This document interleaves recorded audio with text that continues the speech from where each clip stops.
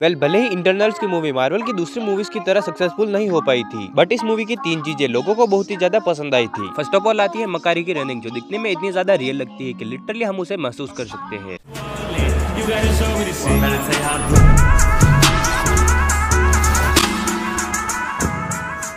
And दूसरा इस movie का विलन जो की इतना ज़्यादा डेंजरस था की वो इंटरनल्स को मारकर उनकी कॉस्मिक एनर्जी को अपने अंदर एब्जॉर्व कर सकता था। एंड सच बता रहा हूँ लिटरली इस विलन को देखने के बाद लोगों की धड़कने तेज हो जाती थी। एंड लास्ट थीना का ये एंडिंग फाइट सीन